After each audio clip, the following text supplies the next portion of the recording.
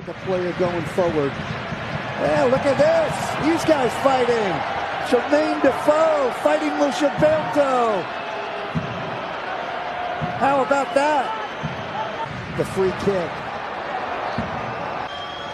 It's all number nine. Gilberto fires and scores! My goodness, he backed it up with that! How about that? In the back of the net. The Red Bull have six in the wall. Okay, all is forgiven, says Jermaine Defoe. What a bullet, his first goal in MLS. That's absolutely wild. But you got to give it to Jermaine Defoe. He's ready to punch Gilberto in the face.